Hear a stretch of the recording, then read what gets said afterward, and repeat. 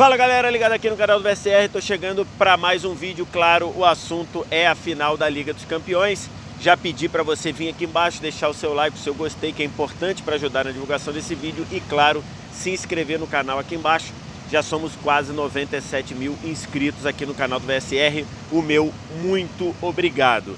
Tô gravando aqui do palco da decisão, do gramado do estádio Wanda Metropolitano, nesta sexta-feira, um dia antes da grande final.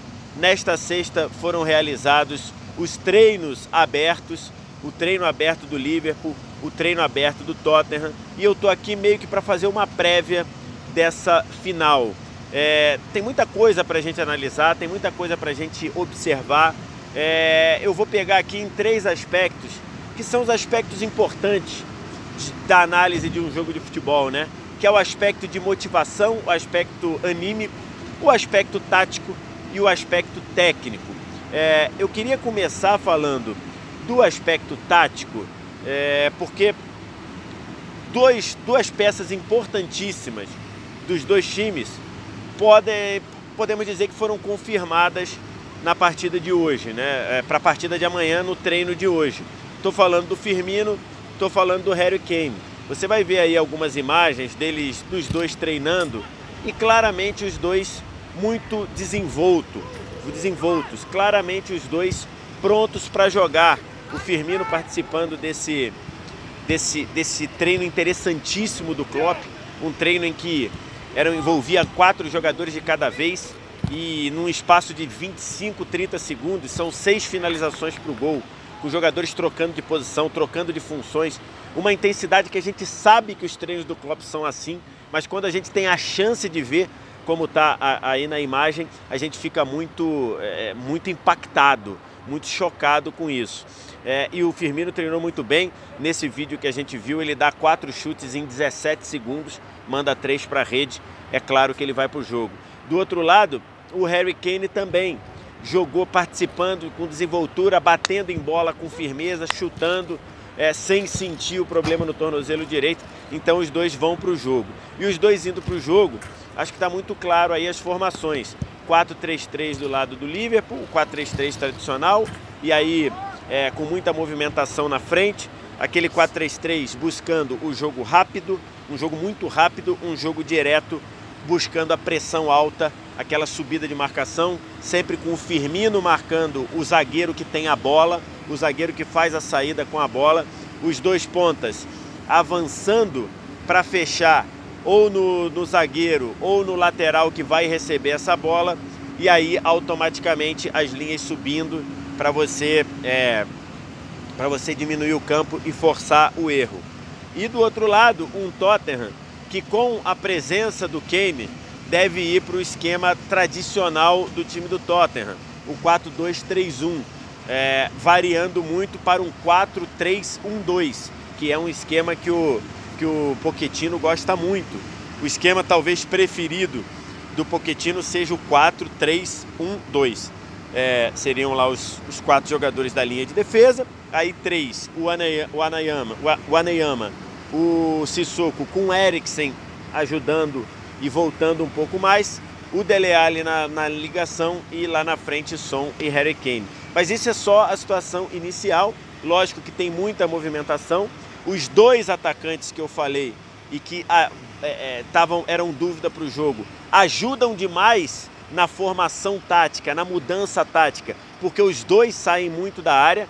O Harry Kane vai lá ao meio-campo quase para armar o time, para ser um 10 que ele usa na camisa de fato na função, e o Firmino saindo da área, abrindo espaços, ora para abrir espaços para infiltração do Salah, ora abrindo espaços para buscar a, a, o apoio, o, a, a condição de avançar dos dois laterais. Então esse é o cenário tático, é um cenário de encaixe, é, especialmente do lado do Tottenham, né, quando o time está sem a bola, quando o time está na fase defensiva, trabalha com alguns encaixes individuais, especialmente na linha de meio do Sissoko, pegando o, o meio adversário, é, do Dele Alli encaixando no volante de distribuição adversário. Então a gente pode ter uma batalha boa aí de Fabinho de Dele Alli marcando o Fabinho.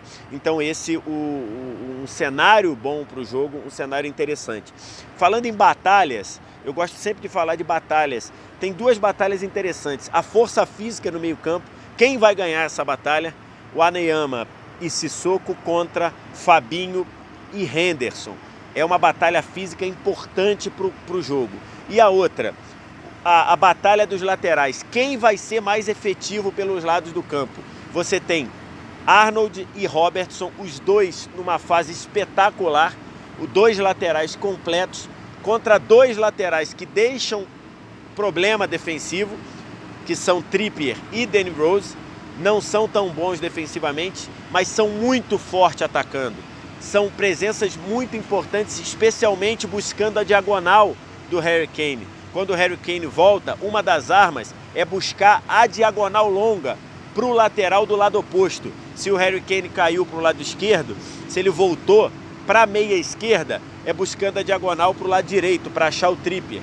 Se o Harry Kane volta ao meio campo pelo lado direito, é buscando a diagonal longa para o Rose. Quem for, a dupla de laterais que for mais efetiva no campo adversário, tem, é, é, é, é vai, pode dar ao time um grande passo para a vitória. Então essas são as partes táticas. Queria falar da parte técnica. A parte técnica, você tem grandes jogadores em ótimo nível técnico. Você tem Fabinho voando, você tem o Salah crescendo muito na reta final, o Mané talvez na principal temporada.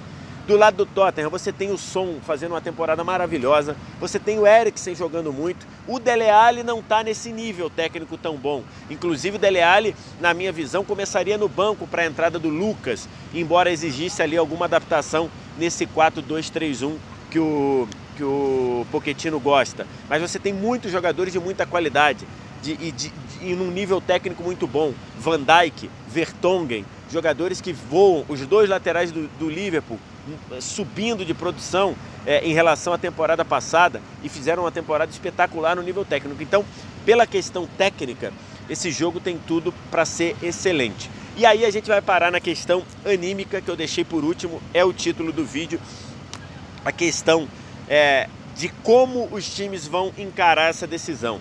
E o que eu vi hoje aqui, inclusive vou botar aqui é, algumas fotos sobre isso, eu senti no treino um Tottenham muito leve, um Tottenham muito descontraído, um Tottenham é como se estivesse entrando em campo com a sensação de que ele já fez a missão dele, que agora ele está entrando em campo meio que para, eu não sei se se divertir é o, o termo correto, porque ninguém pode entrar é, entre aspas para se divertir numa final de liga, mas acho que um termo que, um termo que usam muito aqui na Espanha, desfrutar. Eu senti um Tottenham no treino muito leve, um Tottenham fazendo as coisas com desenvoltura, um Tottenham com todo mundo é, é, é, muito descontraído, um Tottenham muito, muito leve, acho que é a melhor palavra mesmo. E isso se retrata no final do treino, quando todos, praticamente todos os jogadores do Tottenham foram para a arquibancada que, tão, que está aqui na minha frente. É, ali estavam vários familiares de vários dos jogadores e eles ficaram ali conversando, batendo papo, dando abraço, tirando foto, conversando. O som é, que eu não vi, aparentemente não tinha ninguém da família do som aqui, mas pegando filho, os filhos, o filho do, do, Dele, do, do, do Lorente, é, brincando aqui com as crianças, é, brincando com, com os parentes dos outros jogadores. Então senti um, um, um Tottenham muito descontraído, um Tottenham quase que sem pressão. E eu acho que isso é muito perigoso para o Liverpool, né? O Liverpool que vem de um ano maravilhoso, de uma temporada maravilhosa, em que perdeu a Premier League. Lógico, a gente não está aqui criticando o, o, Liverpool, muito pelo contrário. A campanha do Liverpool na Premier League é campanha de campeão, mas gera uma pressão, não foi campeão. É um Liverpool que tem a chance de ganhar a, a Liga dos Campeões depois de ter decidido a Liga dos Campeões passada.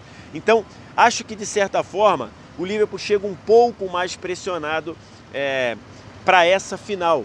E, e, o que eu vi aqui hoje é um Tottenham muito descontraído, é um Tottenham muito leve e por isso um Tottenham muito perigoso. É, eu acho, eu, muita gente pede para palpitar, eu acho que vai ser um jogaço, acho que vai ser 2 a 2 e acho que o Liverpool ganha nos pênaltis, mas isso é achismo, porque pelo que tudo que eu falei aqui, é, eu acho que é uma, uma final é, de, de pouca previsibilidade. A própria trajetória de, dos dois mostra isso, né? Um Liverpool que quase foi eliminado na primeira fase, ganhou, é, se classificou com uma defesa do Alisson no último, nos acréscimos do jogo com o Napoli, avançou para o mata-mata, tomou de 3 a 0 do Barça na semifinal, virou para um 4 a 0 épico. Do outro lado, um Tottenham que também quase foi eliminado na, na primeira fase. É, depois, teve eliminado naquele gol do Sterling, que foi justamente tirado pelo VAR para se classificar contra o City nas quartas e na semifinal teve eliminado praticamente o tempo todo até aquele gol salvador.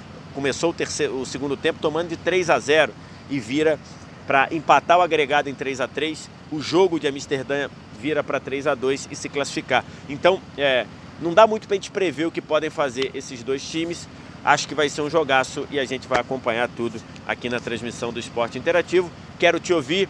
Quem ganha essas batalhas? Quem está mais forte? Essa, esse Tottenham leve atrapalha? É um perigo? É uma ameaça para o time do, do Liverpool? Vem aqui embaixo, deixa a, a sua opinião, deixa os seus comentários, se inscreve no canal, deixa o like que esses vídeos estão dando um trabalhão e claro, participa aqui do canal se inscrevendo. A qualquer momento a gente volta amanhã depois da final. Tem vídeo também. Muito obrigado, um abraço e tchau.